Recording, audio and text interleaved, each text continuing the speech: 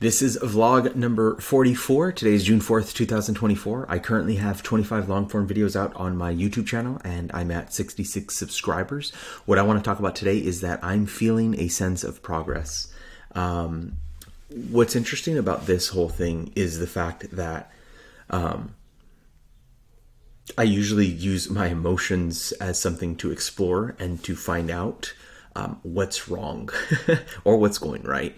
And so a couple, uh, I posted a vlog, I believe it was last week, where I was where I basically talked about how I have no perceived sense of progress. And what was hard about that is just, yeah, they're they're just it's too much space in between long form videos coming out on YouTube. And I mention that because at the end of the day, um, I need to have a perceived sense of progress so I ended up, I realized that I needed to re-switch some things around rather than going to um, uh, one high quality long form video every month, right? Like, you know, very spaced apart.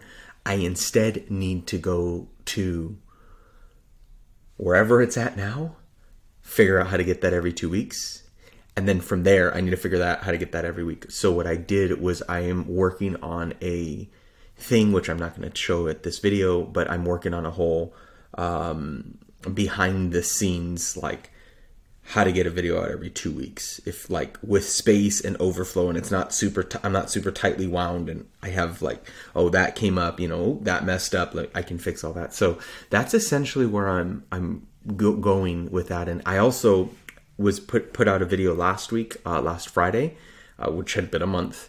But I have already I had already written and recorded another video that I was starting to work on, which theoretically should be out this Friday. And just today I recorded another video, video 27, um, that I will start editing and theoretically get out by next week.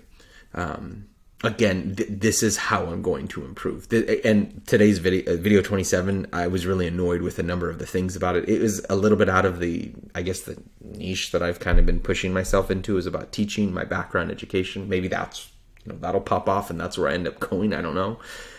But I'm making progress. I'm moving. So it's good. It feels really good. Also, the freedom of not obsessively checking over data every single day. I, I made that decision like a couple weeks ago to not do that. It feels really good because then I can just focus on my inputs and have space to focus on my inputs. Anyways, that's all I have for today.